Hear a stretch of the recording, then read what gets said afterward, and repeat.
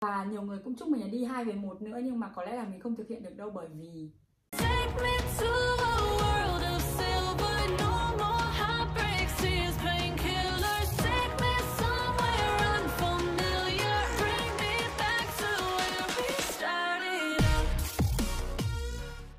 Hello, chào tất cả các cậu, lại là mình Ngọc Anh đây.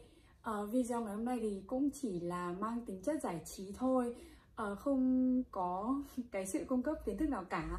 Nhưng mà nếu cậu có hết thời gian thì hãy ngồi xem hết video với mình nhé Thì thật ra là mình đang thu dọn quần áo Tại vì bọn mình sắp phải lên Hola đi quân sự rồi. Ở Bọn mình sẽ đi 49 ngày Từ ngày 20 tháng 3 đến ngày 29 tháng 4 Nên là mình cũng đang phải dọn dẹp lại chút đồ của mình. Ờ, thì mình cũng không biết là lên Hola sẽ mang cái gì cả. Nên là hôm nay mình chắc là sẽ tham khảo một cái bài Ờ, mà các anh chị của trường đã đăng lên. Ờ, các anh chị trong group VNU đã đăng lên. Ờ, để biết là lên Hola thì nên mang cái gì. Thì các ở trang VNU Confession thì các anh chị cũng uh, có đăng một cái bài là tất tần tật về Hola Resort. Mình sẽ tham khảo ở đây. Trước tiên là mình sẽ mang quần áo đầu tiên đi. Thì thật ra là mình cũng không biết là hôm đấy sẽ nóng hay là lạnh nữa. Nên là chắc là mình vẫn sẽ mang một vài cái áo phông. Ở chiếc áo phông này thì là áo phông của câu lạc bộ mình, Friends Violin Việt Nam. Là mình sẽ mang lên trên đấy. Ôi, mình kiểu đi 49 ngày như thế này ấy, thì Nói chung là nó cũng không phải là một khoảng thời gian dài. Nhưng mà nói ngắn thì nó cũng không ngắn.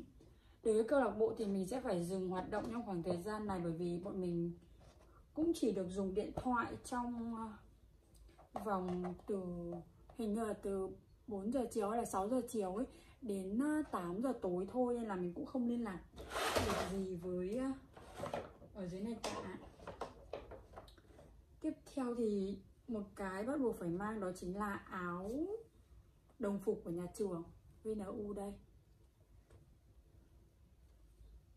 Mình thấy là hôm ờ, định hướng ừ, thì các thầy cũng có dặn là phải mang bộ này lên để bọn mình thực hiện những cái ờ, đồng phục và thực hiện những cái bài tập ấy thì phải mặc bộ này.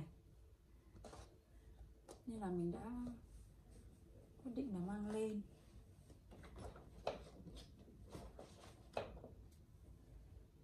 Tiếp theo là chính là quần đồng phục của trường.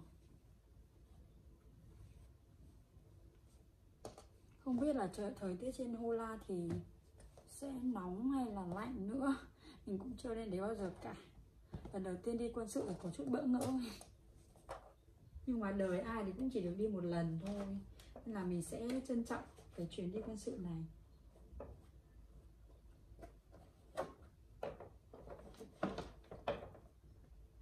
Tiếp đến là áo. Mình có hình như là ba bốn cái áo kiểu này cơ còn đây là áo trường mình áo Ulysses thật ra là chắc là các bạn đi quân sự thì các bạn ấy sẽ mang áo phông lên nhưng mà mình thì mang tận ba cái áo dáng có cổ như thế này bởi vì mình khá là thích những chiếc áo như này ấy, mặc vào cảm giác nó đứng đắn ấy. Ờ, với cả là vì áo là trường mình thật sự mình rất thích áo trường mình. Màu xanh dương kiểu cảm giác rất là niềm tin và hy vọng ấy. Nên là mình đã quyết định mang lên chắc là hôm bọn nó mặc kiểu nguyên áo phông thì mình sẽ mặc nguyên những cái áo có cổ này mất. Mình cũng không biết nữa. Rồi. Tiếp đến là đấy, mình bảo mình có rất nhiều cái dáng áo kiểu này mà. Đây, là áo của câu lạc bộ mình, mật phong. Đây là đoàn thanh niên hội sinh viên khoa ngôn ngữ phần văn hóa Trung Quốc. Thì thật ra là mình rất thích áo mật phong bởi vì màu này mặc lên người thật sự rất là nhìn khá là gầy luôn ấy. Bình thường thì mình cũng không gầy lắm nhưng mà mình rất là thích áo của trường mình, ban tổ chức Ulysses khoa trung. Nhà mình sẽ mang lên. Luôn luôn giữ tình yêu trường và tình yêu câu lạc bộ, kể cả khi chúng ta đã phục vụ tổ quốc. Rồi. Thật ra là bởi vì mấy cái áo này mình đã gấp từ mùa hè nên là nó cũng khá là bị, gấp trong tủ nó khá là bị nhăn ấy. Nhưng mà không sao tiếp đến là lại một cái áo dáng có cổ như thế nữa. Đây là áo đôi của mình với đinh thảo. Nên là mình cũng sẽ mang đi.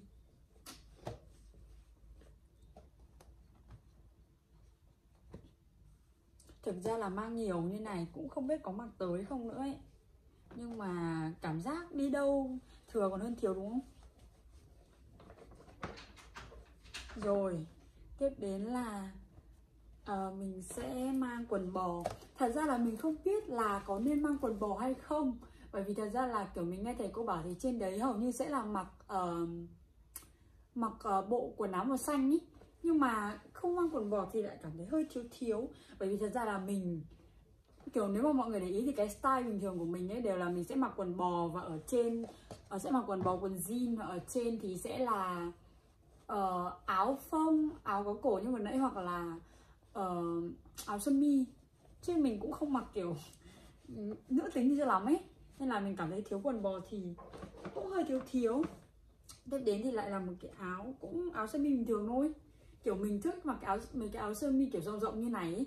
bởi vì di chuyển các thứ cũng khá thoải mái ấy. mình thì là một đứa hay đi và mình cũng là một đứa kiểu hay đi xe máy nữa ấy. và mình cũng kiểu thích vu vơ vi vu chơi này kia ấy nên là cảm thấy là những cái áo này thì mặc khá là tiện cũng, kiểu mình cũng thích mặc những cái áo nữ tính một chút đi nhưng mà cảm giác nó khó di chuyển với cả khó đi lại ấy. nên là mình lại thôi. Thực ra là không biết mang lên có có thời gian mặc nữa không ý. Nhưng mà mình vẫn cứ mang lên. Tiếp đến thì là một cái khăn tắm. Mình nghĩ đây là một cái không thể thiếu. Tuyệt đối không thể thiếu trong chuyến đi này. Hai cảm giác cứ như kiểu đi lâu lắm ấy. Có chút ừ, hồi hộp. tiếp đến là lại là một cái quần bò giá rất rộng. Bởi vì mình thấy nó rất là thoải mái. Ôi, mình không biết có thời gian mặc bọn này không nữa ấy trời ơi, mình đã vác cả cái tủ quần áo của mình đi mất. Ai. Tiếp đến là một cái quần đùi mình cũng không biết nên có mặc, có nên mang quần đùi hay không nhở? Thôi hay cứ mang một cái vậy bởi vì thật ra là chắc là cũng không có thời gian mà còn đùi đâu ha. Nhưng mà ví dụ như buổi đêm thì chẳng hạn, không biết nữa, thường nên thiếu. Tiếp đến là một cái quần nó dạng kiểu, dạng à, mình cũng chẳng biết dạng gì nữa nhưng mà nó khá là thoải mái. Chẳng biết có thời gian mặc không. Hmm. tính mình là kiểu nếu mình không mang đi thì mình sẽ khá là bứt rứt trong lòng ấy. Bởi vì cảm giác là nó sẽ mình sẽ cần một lúc nào đấy. Maybe thôi uhm. số quần áo của mình thì cũng chỉ tầm đó thôi. Đây các anh chị còn kiểu gợi ý là bọn mình nên mang chăn gối nữa. Ờ, một cái chăn mỏng. Uhm. thì tí nữa mình sẽ đi lấy một cái chăn mỏng và cho vào ba lô à cho vào vali thời tiết trên hola dù là mùa hè thì ban đêm cũng khá là lạnh nhất là những hôm mưa bão khá là lạnh. Thì mình cũng đang không biết liệu nên mang áo khoác không. À, gối. Trên hola không cung cấp gối nên nếu bạn quen ngủ phải có gối thì nhớ mang theo nhé. Thực ra là mình cũng mang quen ngủ phải có gối. Ấy. nhưng mà nếu mà mang theo thì lại nhiều quá không có chỗ mang uh, quần áo thì được phát đây. Mấy bạn sẽ được phát hai bộ quân phục Một chiếc mũ. Uh, Cần chuẩn bị là Mặc đồng phục gần như 24 trên 24 Nên quần áo tùy theo nhu cầu mỗi người thôi. Áo cộc tay thì 3 đến 4 cái Loại mỏng vừa nhanh khô vừa thoáng mát. Ở Quần dài thì 1 đến 2 cái. Quần short thì 3 đến 4 cái. Giày dép một đôi giày thể thao tất 3 đôi. Ừ đúng rồi, mình còn chưa mang tất nữa. Các bạn đợi chút mình sẽ đi lấy tất nhé. Mình sẽ mang hai đôi tất cổ cao như này Và một đôi tất cổ ngắn. Hầu như tất thì đều là màu trắng hết. Hmm. Cảm giác nhiều thứ phải chuẩn bị.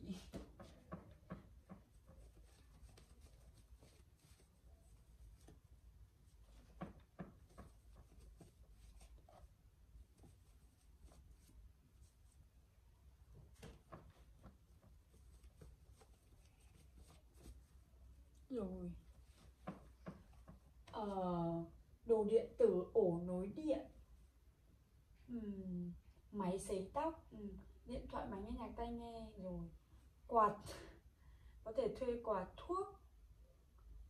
Thuốc thì ừ đấy thuốc mình cũng chưa chuẩn bị gì. Đồ dùng học tập giấy A4 à. Mình hiện tại ở nhà à ừ mình có giấy A4 ở kia đồ dùng tại vì thôi để tí nữa mình sẽ chuẩn bị. Ôi nhiều thứ thế.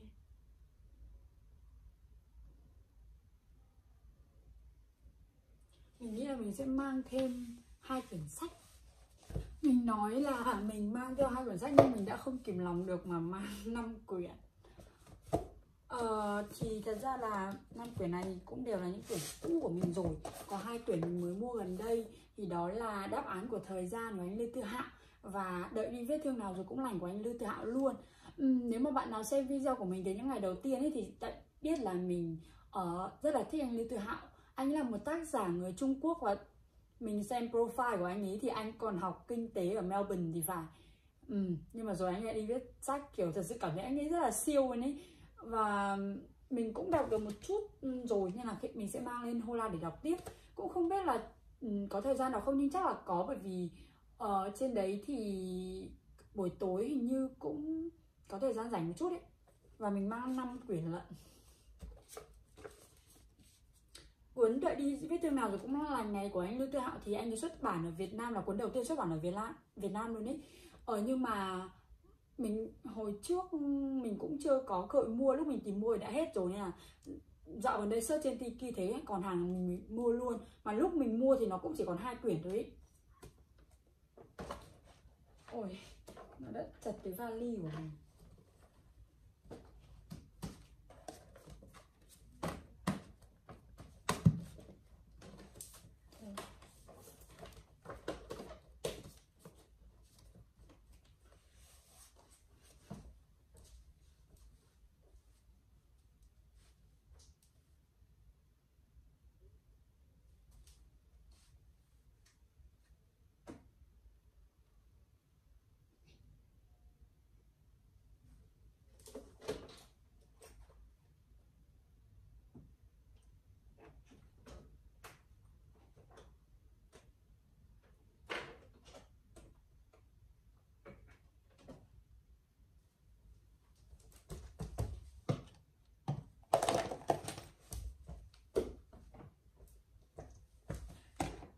và con gái thì có một cái tất nhiên không thể thiếu đấy, đấy chính là đồ để skin care thật ra thì mình là một đứa cũng không biết gì về skin care cả.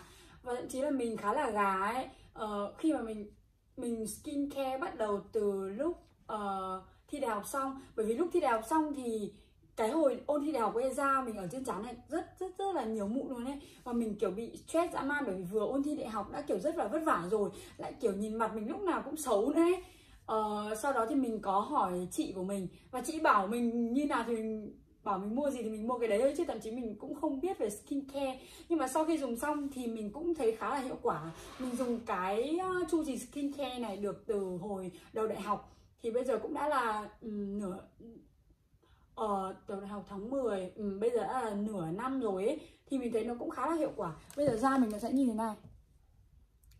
Uh, đó thì nó cũng cũng không phải đẹp lắm nhưng mà nó cũng đối với mình nó cũng được cũng hết mụn. Uh, thì cái chu trình này của mình chỉ đơn giản đầu tiên mình sẽ tẩy trang. Thì tẩy trang bằng cái thương hiệu này. Mình cũng khá là gà mới uh, ờ, đây mình cũng đã dùng sắp hết rồi. Tiếp đến thì mình cũng sẽ dùng sữa rửa mặt Cetaphil uh, ờ, mình thấy là cái sữa rửa mặt này thì kiểu được bán là hiệu thuốc ấy và chị mình có nói là uh, dùng sức rửa mặt này thì khá là tự nhiên nó cũng không có kiểu tác dụng gì mạnh lắm ấy. Chỉ đơn giản là uh, làm sạch thôi nhưng mà mình thấy mình dùng khá là ổn. Và mình cũng thiên về những cái sản phẩm dược dược phẩm hơn. Đó. Đó rồi tiếp sau đó rửa mặt xong thì mình sẽ dùng um, cái này.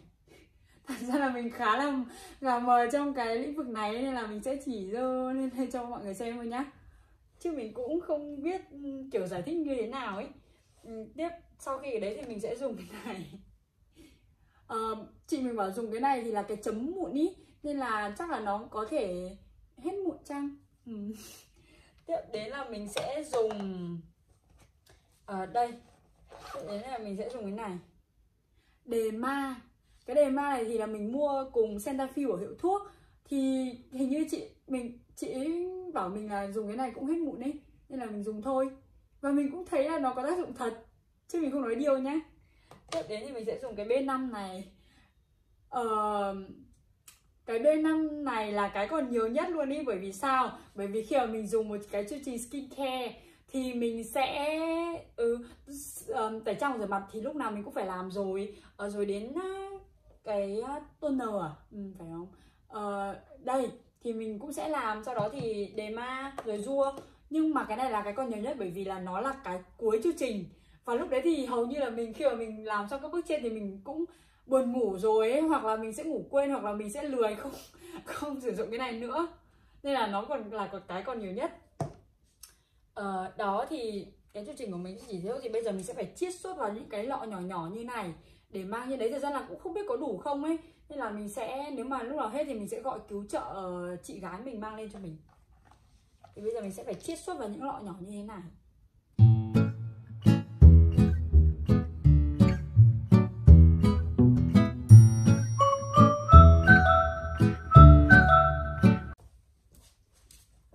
Ok, bây giờ thì mình cũng đã chiết xuất ừ, các lọ vào đây xong rồi mình sẽ để trong một cái hộp nhỏ như thế này. Và đựng cái túi này. Túi này thì là cái ấn phẩm quà tặng của Friends of Valentine Việt Nam.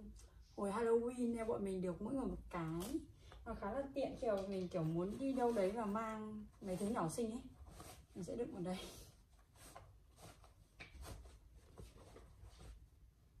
Cả cái băng đô và cái kẹp tóc nữa. Rồi sau đó dán vào. Là xong hai nghĩ đi nghĩ lại thì mình vẫn nghĩ là mình nên mang hai cái mặc áo khoác mỏng nhẹ này đi mặc dù bây giờ cái vali của mình nó đã, kiểu, rất là đầy rồi ấy. Nhưng mà mình không mang thì mình lại cũng sợ ở trên đấy buổi tối sẽ hơi lạnh ấy. Bởi vì các anh chị cũng có review như thế. Cũng chẳng biết có đủ chỗ không nữa, chắc phải xách thêm ngoài mất. Cái vali của mình thì cũng khá là nhỏ thôi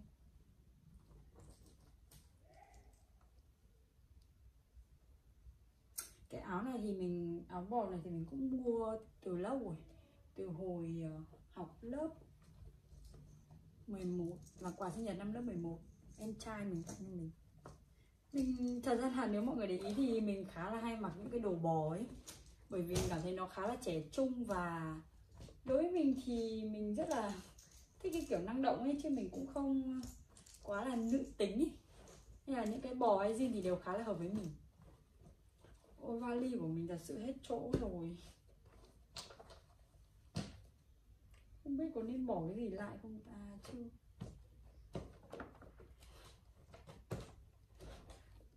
Chắc mình phải để sách các thứ ở bên ngoài. Và một cái áo nữa. Áo này thì mình mới mua. Mùa mùa đông năm nay.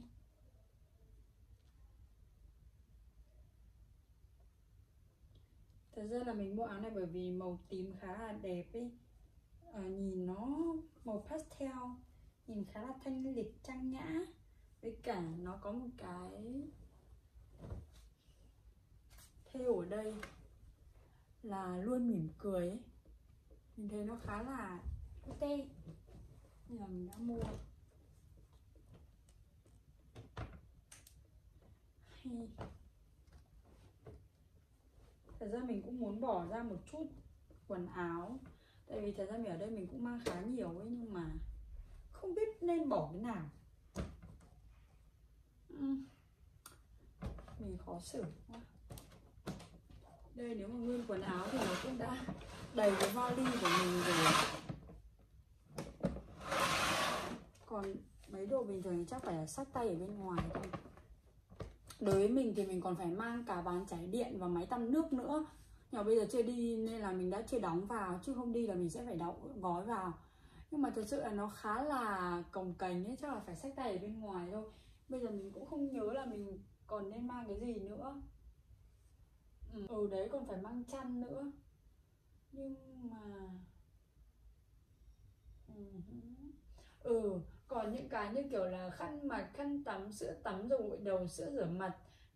Uh, kem dưỡng kem dưỡng da ok mang rồi. Nhưng mà vẫn chưa mang những cái đấy. Ôi thật sự sao nhiều đồ phải mang thế nhỉ? Ôi chắc là mình sẽ đóng những cái đồ um, nhu yếu phẩm các thứ rồi ấy các thứ sau. Chứ vali của mình thật ra là bây giờ nó cũng đã chật rồi. Có thể cài vào. Cảm giác nó đang bị quá tải đây đi đây. Chắc mọi người không nhìn thấy được chỗ này hơi đây. Nó cũng đã hết cái vali của mình rồi. Mình cứ đóng tạm vào đây đã. Rồi khi nào à, thiếu gì thì mình sẽ lấy sau vậy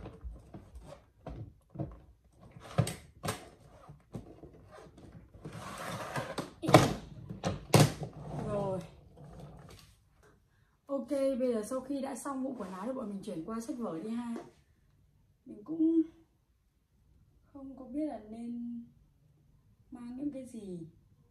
Mình tham khảo ở đây một chút. Ờ, giấy tờ tùy thân thẻ sinh viên ok sẽ thẻ sinh viên của mình ở đây rồi. Đây là thẻ sinh viên của mình. Cái ảnh này là mình chụp lúc à, chụp lúc uh, thi đại học.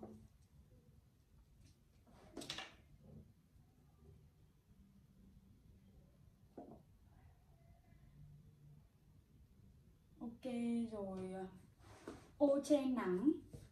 Có một truyền thuyết kể rằng lên Hô Lan nếu bạn được thầy sang đọc bài thơ về nắng sơn tây nắng hòa lạc thì bạn là người may mắn. Ô che nắng thì mình cũng chưa đi mua. À, chắc là phải nốt vào để đi mua. Mắc vào kẹp quần áo khoảng 10 cái. À, bây giờ mình sẽ đi lấy luôn. Rồi mắc vào kẹp quần áo thì mình đã cho gọn gàng túi này rồi tiếp đến là bột giặt nước xả các thứ này thì mình sẽ uh, mua sau. Bắt ô tô các thứ kim chỉ. Uh, ok kim chỉ. Um, giấy A4 ok mình đã có một cái tập giấy A4 ở đây. Mang càng nhiều càng tốt thì thật ra mình cũng không biết là càng nhiều càng tốt là bao nhiêu. Nên mang bao nhiêu nào? Tôi thích chỉ mang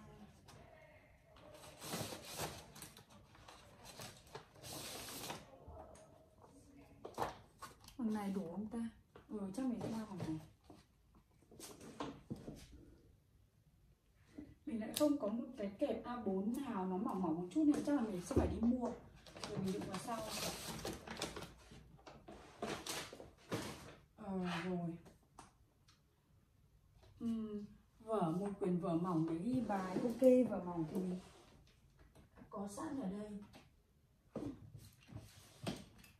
Một quyển vở mỏng mình mua đầu năm viết thương hong. Thì mình sẽ mang cái này đi. Tiếp đến là bút. Ừ, Bút thì đây.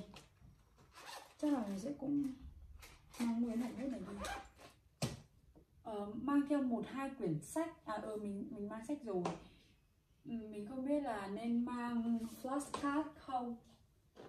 Thì là bởi bởi vì thật ra là mình không biết là bọn là bạn mình có mang không. Bọn nó thì cứ nói là không mang ấy nhưng mà lên trên đấy thì nào chúng nó cũng mang. Ờ, đây là flashcard của mình. Kiểu mình học tiếng Trung thì phải có mấy cái flashcard để học từ mới ấy. thật ra là mình rất là sợ trong 49 ngày này mình sẽ quên hoàn toàn những cái từ tiếng Trung mình học từ đầu đến bây giờ bởi vì thật sự là có một sự thật là uh, tiếng Trung học trước sẽ bị quên sau nếu mình không thường xuyên sử dụng. Và mình là một đứa không có năng khiếu học ngoại ngữ nữa nên là thôi mình chắc là mình sẽ phải mang đi. Thay nán rồi. Buổi thay nán rồi. Ờ, rồi còn gì không nhỉ? Mình nghĩ là mình nên mang một cái cuốn sổ nhỏ nhỏ một chút để mình có thể viết lại vài dòng khi mà mình ở trên à, uh, Hola để mình có thể ghi lại những năm tháng của mình. Năm tháng quân sự của mình.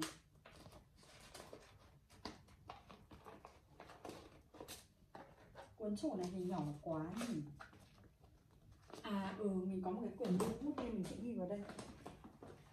Đây là quyển lưu bút điện thoại rồi cấp 3 sẽ mang cái này đi để ghi một vài cái lời tâm sự của mình.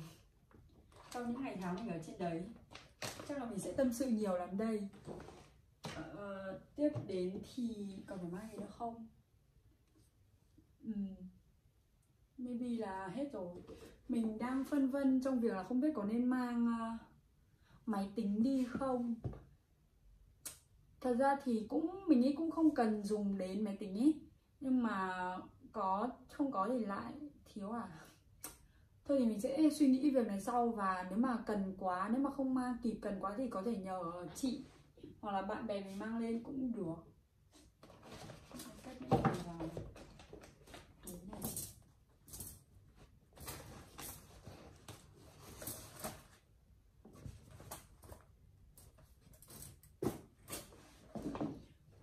này. cất hộp flashcard vào cái túi này mình cảm thấy như là còn rất nhiều đồ mình chưa mang ấy. Nhưng mà mình không biết là cái gì.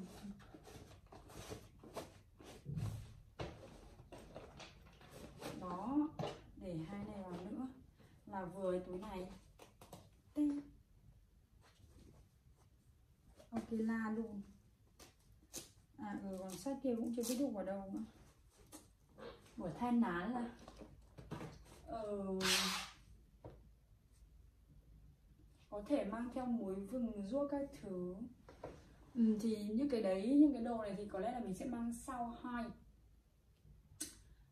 Ok, vậy là video ngày hôm nay thì có lẽ cũng chỉ đến đây thôi Là một cái video khá là nhàm và cũng không có gì cả. Chỉ đơn giản là mình xàm xím chút thôi và chuẩn bị một vài đồ lên Hola ừ. Trong ờ, uh, 49 ngày này thì có lẽ mình không thể ra video mới Mặc dù mình rất muốn. Bởi vì thời gian sử dụng điện thoại trên đấy cũng khá là ít đi và Maybe là mình sẽ ghi lại một vài cái khoảnh khắc ở trên đấy với bạn bè của mình.